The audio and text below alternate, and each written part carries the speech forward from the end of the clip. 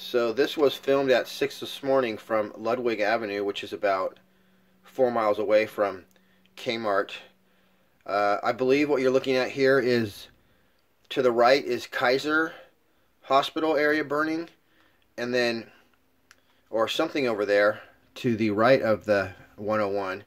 And uh, this is the evacuation at 6 in the morning. We got Hearn Avenue right there, uh, Stony Point Road, and then right there you're looking at Elsie Allen High School. And uh, all the roads are just bumper to bumper with people evacuating. So right here though, that is Kmart and Kohl's burning.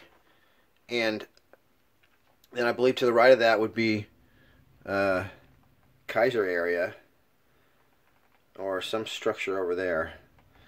But that is definitely, I heard over the scanner that Kmart and Kohl's had burned. So that is the Piner Road area over there.